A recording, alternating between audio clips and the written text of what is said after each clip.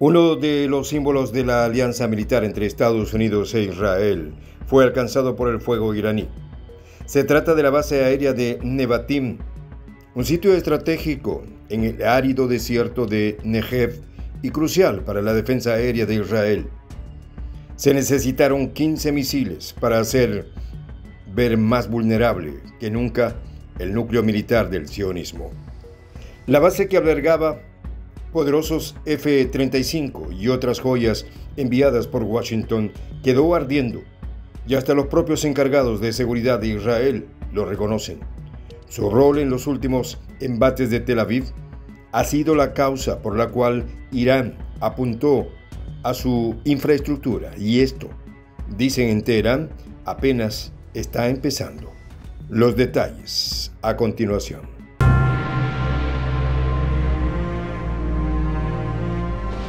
Voz de la Patria Grande. Destruyó la madre de todas las bases sionistas. Así resonaron las palabras en los corrillos de información y análisis tras un ataque devastador.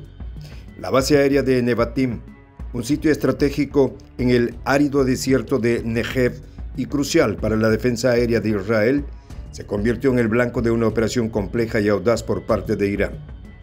La represalia no era un hecho aislado sino una respuesta directa y escalofriante, calculada al bombardero israelí del consulado iraní en Siria. Un ataque que había cobrado la vida de siete asesores militares iraníes. Un golpe que no podía quedar como una simple anécdota para Irán. En las primeras horas del conflicto los cielos nocturnos se iluminaron con el brillo de las explosiones. El cuerpo de guardianes de la Revolución Islámica de Irán había desplegado una formidable ofensiva compuesta por drones y misiles que cruzaron fronteras y expectativas apuntando directamente hacia el corazón de los territorios ocupados. El objetivo, la base aérea de Nevatim. Un portavoz militar israelí, en una rara admisión de vulnerabilidad, confirmó el impacto del ataque. Esta mañana declaró se ha infligido daño significativo a una de nuestras instalaciones militares en el sur de Israel. Reportes de medios libaneses corroboraron la magnitud del ataque, revelando que al menos 15 misiles habían encontrado su destino en las instalaciones de la base, dejándola efectivamente fuera de servicio. La verdadera promesa había llamado Irán a esta misión, y vaya que lo fue.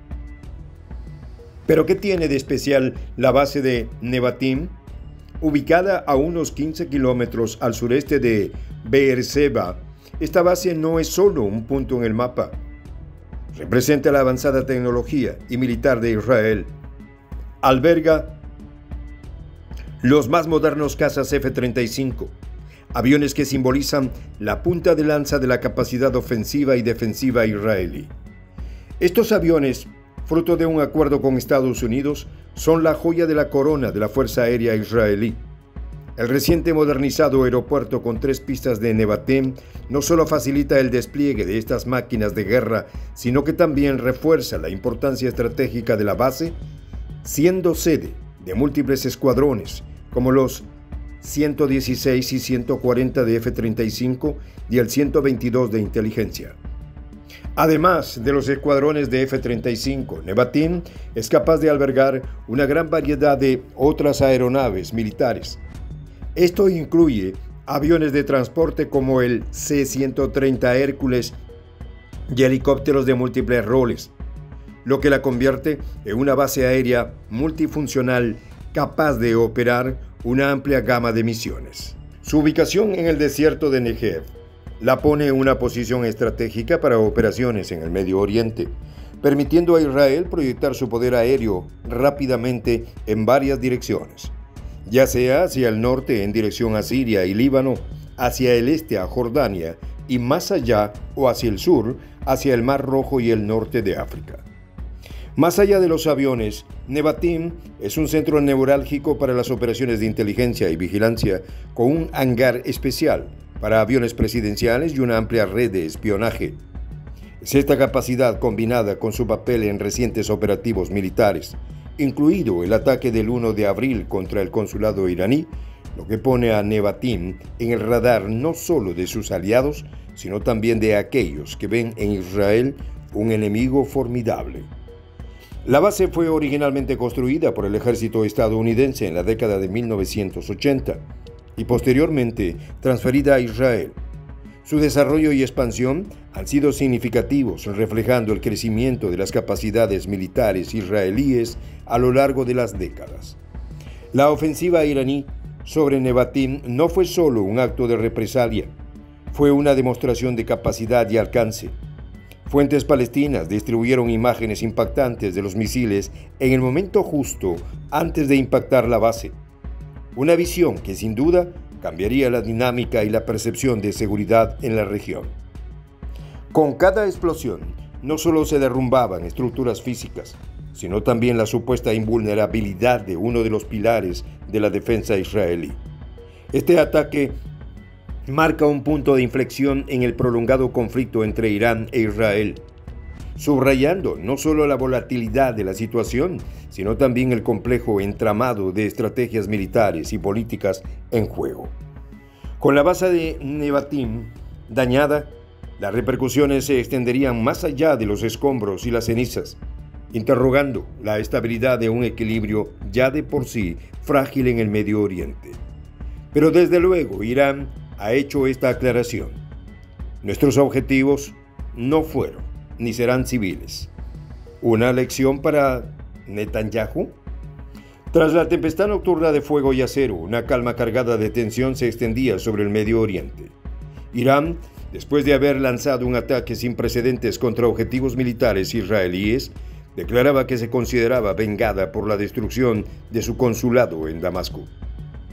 El caso puede considerarse cerrado, proclamaba la misión iraní ante la ONU. Apenas tres horas después del primer ataque directo que la República Islámica había realizado desde su propio territorio hacia Israel. Este mensaje no solo sellaba un capítulo de retaliación, sino que también marcaba un momento de espera cargado de posibles futuras confrontaciones. El presidente iraní Ebrahim Raisi, con una voz firme y meditada, advertía sobre las repercusiones de cualquier acción imprudente por parte de Israel y sus aliados. Responderemos con más fuerza, aseguraba, dejando en claro que la escalada militar podría intensificarse si se rompía el precario silencio que ahora colgaba en el aire. A su vez, el general Mohamed Bagheri, cabeza de las Fuerzas Armadas iraníes, se regocijaba en la eficacia de la ofensiva que había deshabilitado un centro de inteligencia y la base aérea de Nevatim. Los más de 200 drones y misiles lanzados, aseguraba, habían cumplido con su objetivo sin apuntar hacia centros urbanos o económicos en un esfuerzo por enfocar el castigo estrictamente en las capacidades militares de Israel.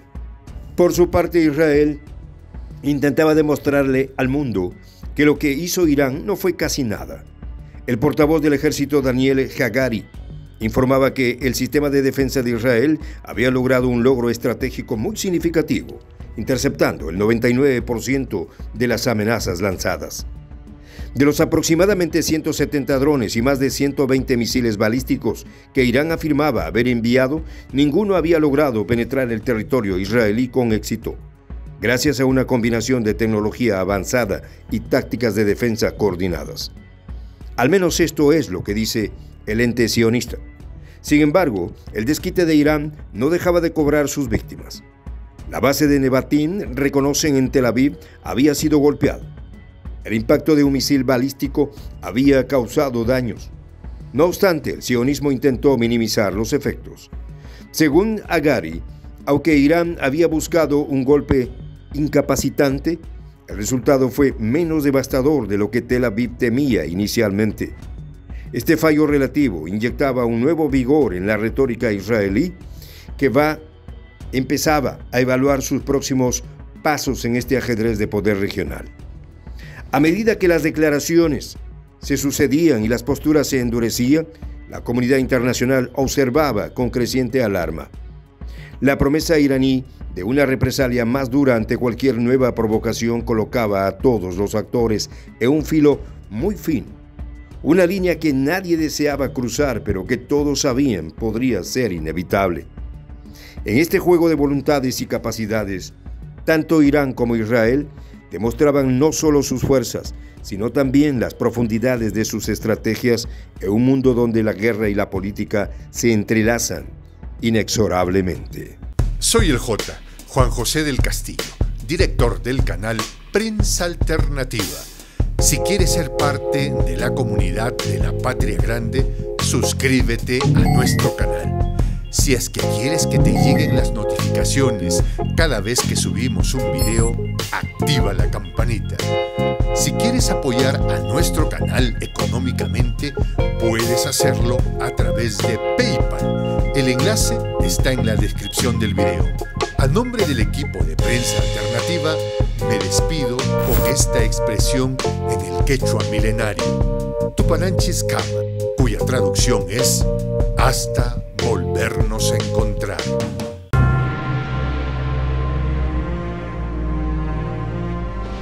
Voz de la Patria Grande.